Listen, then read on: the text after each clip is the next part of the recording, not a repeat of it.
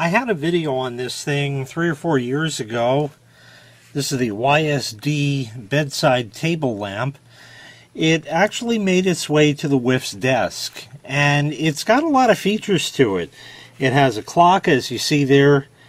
Um, although the it's 12:36 now, when it's not 10, 11, or 12, it always displays a zero there and shows uh, AM or PM. It's not 24 hour time. It does have a speaker on top, Bluetooth, or you can plug in on the back a micro SD card or even line in. And in addition to all of that, it lights up.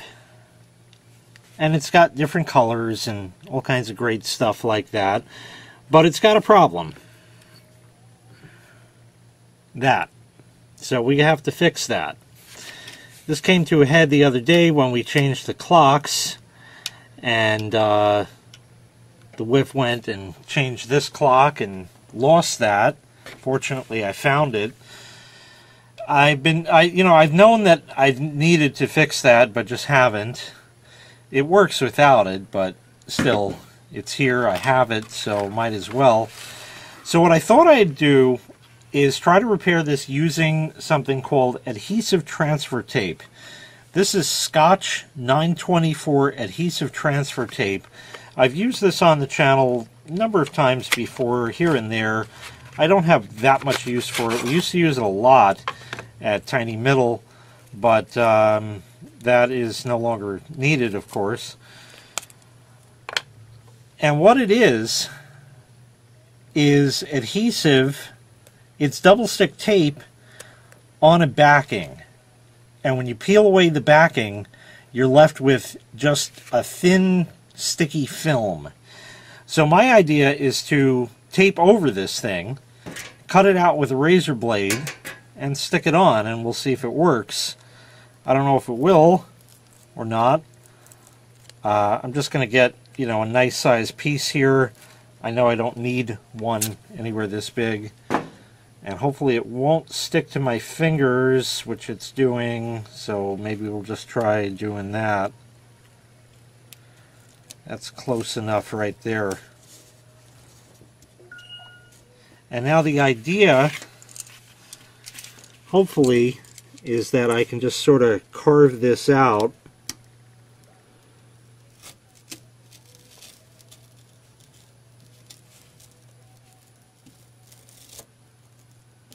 That might be enough there. I should start in the in the tape itself.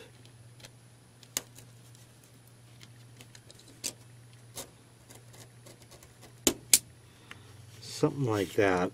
That's kind of the idea. Peel this off.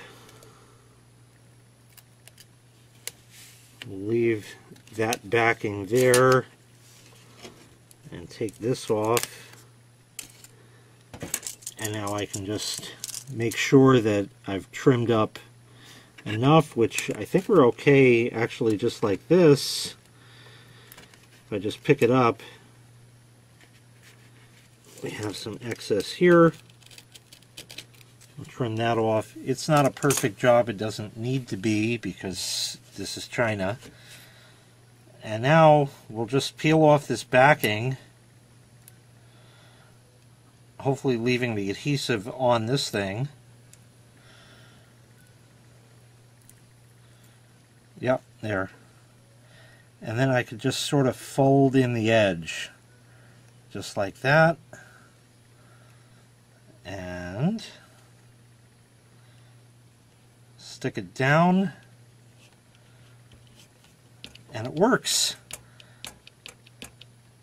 And most importantly, it won't fall off. So I have just the tiniest bit of adhesive there, which I can pick off.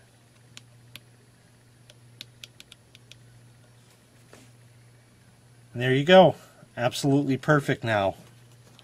That worked a treat. Let's press it down real good.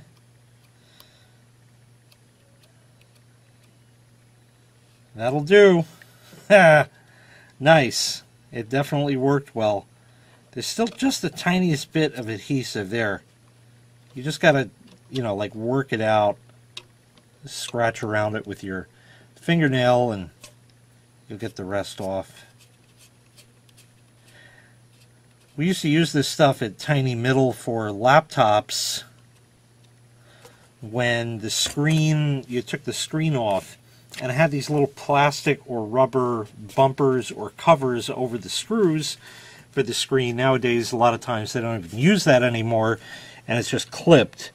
Um, but we used to use that for clips that broke. We just sort of put this stuff there and make believe it never happened and it worked. it definitely worked. I think we ran out at one point and I had to actually buy some more and they didn't know where to order it, but I did, which was actually Walmart, at least at the time. And uh, I ordered it and they reimbursed me for it, so there we go. It's repaired once again, and now the WIF can press this button all she wants, hold it for color, all that good stuff and it does what it's supposed to. Good. That worked out a lot better and easier than I thought. I tried using this before on a uh, on an Oddware episode, which I don't know if it has ever been released as of this point, but even with as thin as this stuff is, I'll see if I can pick this up here.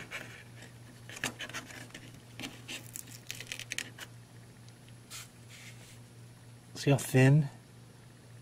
It's really, really thin stuff.